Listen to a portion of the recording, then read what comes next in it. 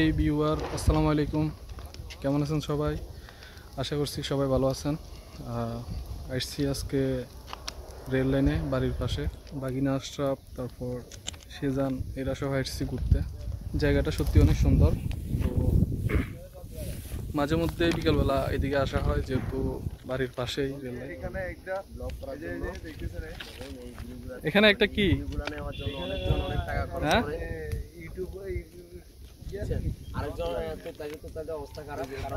এতের মুখে দি কতই বারণ না। এতে কি করব চারিদিকে ঘাসে ঘেরা একবারে সবুজ। সিনেমাটিক শট নিয়ে আপনাদেরকে দেখাই।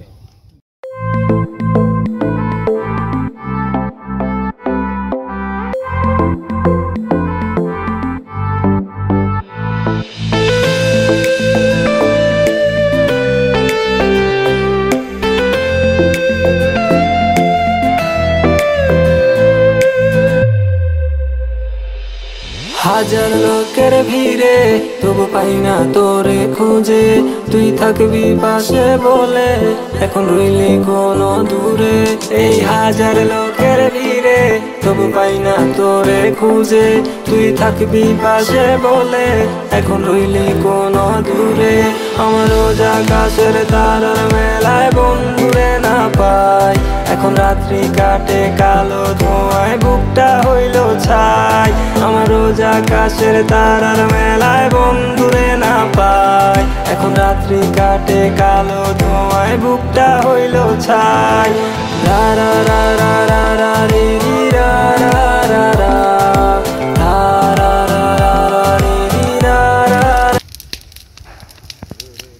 চারিদিকে সবুজে ঘেরা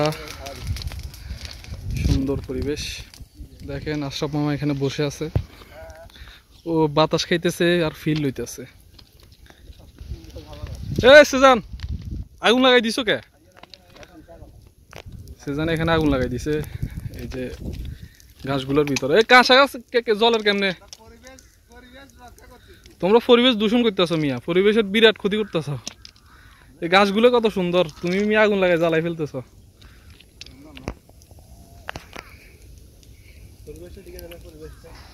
হয়েছে আছে? আগুন আগুন আগুন।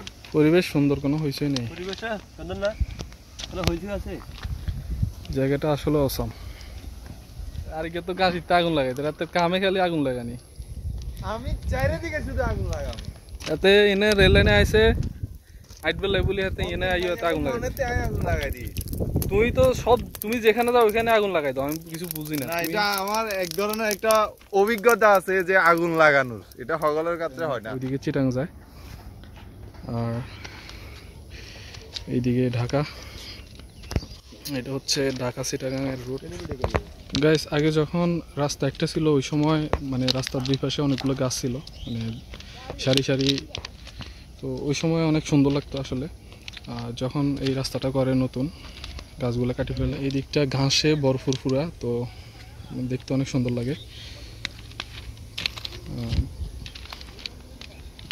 এই কারণে প্রায় টাইম বিকালে এইদিকে হাঁটতে আসা, যদি ফ্রি থাকি এইদিকে চলে আসি। ছোটোখাটো একটা ব্রিজ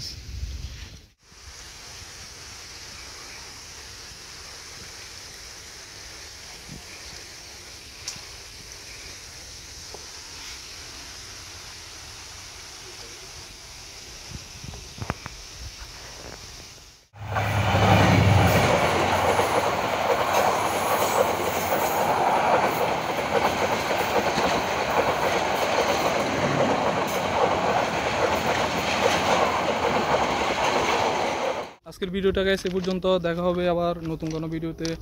তো মামা কিছু বলো? সবাই ফলো এবং সাবস্ক্রাইব করে দিবেন। আর যারা ফেসবুক পেজ থেকে। দেখতেছেন তারা শেয়ার এবং লাইক করবেন বেশি বেশি। সো ধন্যবাদ সবাইকে। ওকে আল্লাহ হাফেজ। Bye bye tata.